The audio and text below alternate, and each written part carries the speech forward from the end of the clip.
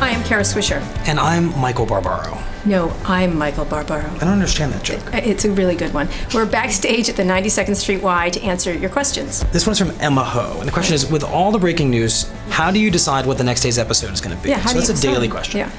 So an episode of the Daily has to meet a couple of criteria. Mm-hmm. We need there to be like multiple dimensions, characters, tension, drama. So half the news just immediately falls by the wayside. It's not a daily episode.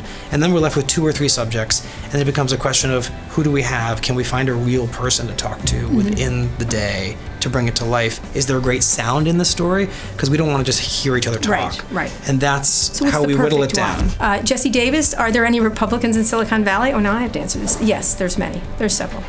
And do they feel the need to hide? No, that's just a canard. No, they, they're conservative. In fact, more people in Silicon Valley are conservative, especially the leaders. Mm-hmm. Um, I would say they're libertarian conservative kind of thing. So it's not, they're very tolerant on social stuff and they like their money.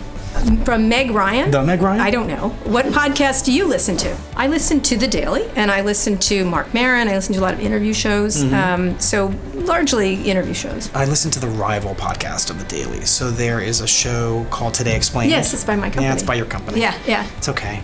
This one's from Bradley Cohen. In your opinion, is the adulation of founder this is so for you. Yeah, of so founder CEOs problematic? And if so why?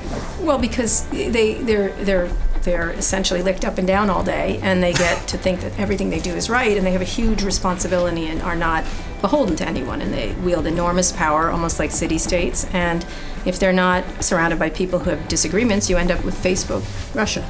That, Kara, Yes, is all the time we Michael. have. So we're going to see you next time, and thank you very much for watching. Thank you.